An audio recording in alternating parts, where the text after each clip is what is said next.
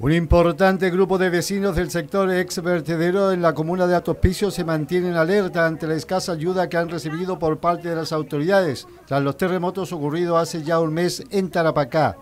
Varios de ellos decidieron instalarse con una veintena de carpas en un sector aledaño a la ruta A16 frente al Parque de los Parapentes, debido a las fuertes emanaciones que surgen desde el ex vertedero y por llamar la atención de las autoridades ante la falta de ayuda. Para mí es terrible porque casi la mayoría de la gente que es diabética tiene que estar haciendo su aseo personal permanentemente por el problema que, que ya que los irrita algo, qué sé yo, y se los hace tiras, se hacen llagas y toda esa onda. Entonces por eso ese es mi problema, pero yo voy a ir aquí hasta las finales, a morir.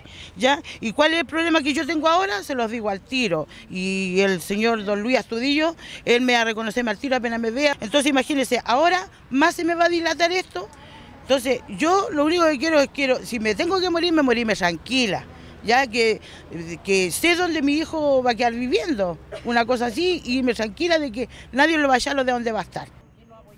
Según denuncian varias personas, en especial niños, estarían presentando problemas de salud, como crisis de asma debido a los fuertes hedores y han debido soportar el frío registrado en los últimos días dormir acá en Intelperi, pues imagínense, anoche yo dormí en mi carpa, todo el, hielo se pasaba por las carpas que nos dieron. Y los niños, imagínense, amanecieron todos enfermos, hay mujeres enfermas con diabetes, y, estamos todos enfermos. ¿No hay ningún operativo médico? En Nada, nada, si no, no apareció nada, nada, ni una ayuda, ni agua. Cada persona que viene acá, estamos pidiendo agua a las casas actualmente. Y mire, usted mismo vio el baño, vio el baño que tenemos. Imagínese.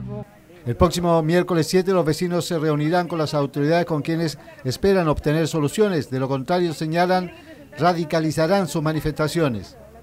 La gente optó de venirse al carpa acá porque también somos un campamento. Y en vez de estar viviendo en un gas metano, ellos vinieron a estar acá, con el frío. Ustedes pueden ver que aquí tenemos muchos niños, muchos niños, mucha gente de tercera edad.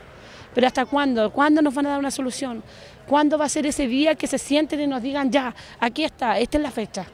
Eh, ¿Cuántas son las familias que están siendo afectadas y damnificadas por esta situación? 900 familias nosotros somos. Tenemos comité indígena, tenemos el comité Gladys Marín, tenemos un comité de 91 que entrega, y puso su primera piedra y todavía no le construyen. Entonces, ¿qué más? ¿Qué más quieren esperar?